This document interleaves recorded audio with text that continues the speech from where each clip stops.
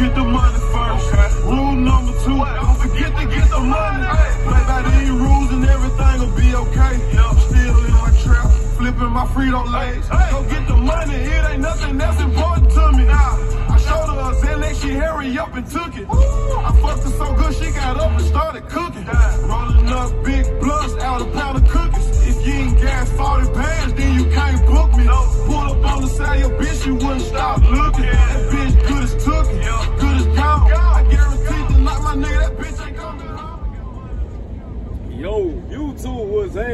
What is happening?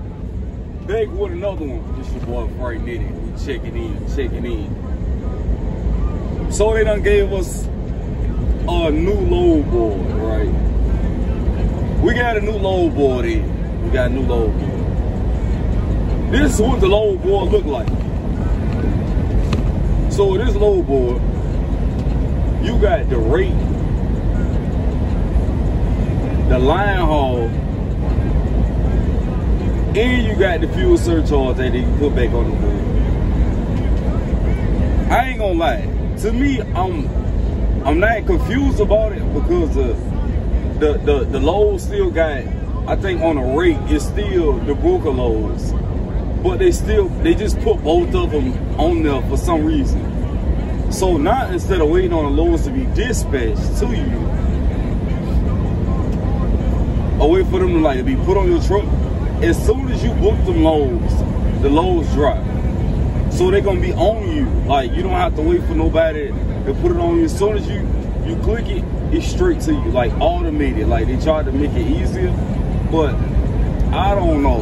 I don't. I don't know. I ain't really tested out. I booked my little two loads and it's time to go back to the crib. You know. I see what they doing, but it could have just stayed the way it was before. I ain't even gonna hold you. I ain't gonna hold you because it, it was pointless to do that to me. I feel like it was pointless. Everything gonna still be the same. If you gotta call and cancel a load, then you just gotta call and cancel it. If you gotta call, you know, the system might be acting up, you gonna still have to call. It it don't matter that you can put the rate in a line haul on there. So that's why I'm like, I don't I don't too much know when it come when it come down to that. But other than that, them loads still look good to me. You know what I'm saying? Uh, somebody ran past It was like, somebody ran past and said that it's not no money over here still. Like, bro, like we not. I'm not running for no pennies, man. I'm not running for no pennies.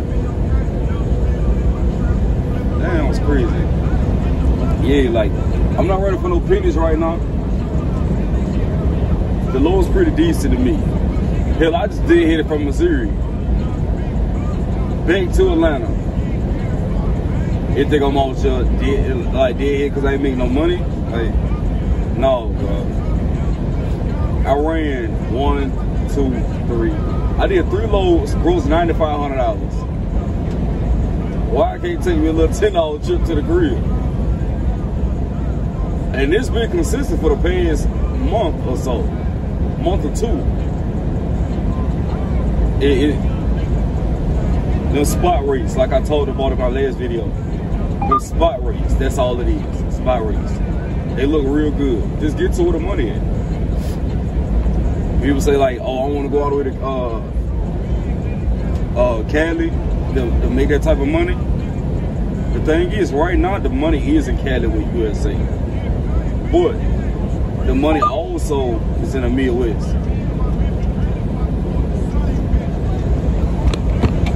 Figure out how to work the uh, work the little system or whatever like that, and go from there. But I'm on my way to the crib. I'll be there for like two hours, three hours, something like that. I'm gonna get there. Come on, bro. Why would you do that? Why would you do that? But I'm gonna get there, and we're gonna go. Uh, probably add some more to this video. I might just cut this video short, but we're gonna add some more to the video because I want to know what's people's opinion as far as the music setup in the Peterbilt. I gotta go ahead and buy like a bunch of speakers and all the extra stuff for that truck. Um, and get my boxy stuff for the flows. But we're gonna check back in later on uh, on that on that Peterbilt. And uh, what the hell they say? Yeah, but y'all just stay tuned. You know what I'm saying? So look, I'm checking back in, yeah, man. I was gonna drop the other part of the video. I was gonna go ahead and add the Peterbilt stuff. But I had something to say because somebody sent me out a video or whatever that somebody posted about USA. And this is the thing. Everybody got their own opinion when it comes down to USA. I ain't got nothing to say about that. However these people feel is how they feel. Do not keep asking me questions or sending me videos about what other people saying about USA. That is not my experience. I don't have no type of opinion on what somebody else is doing or what they got maneuvering.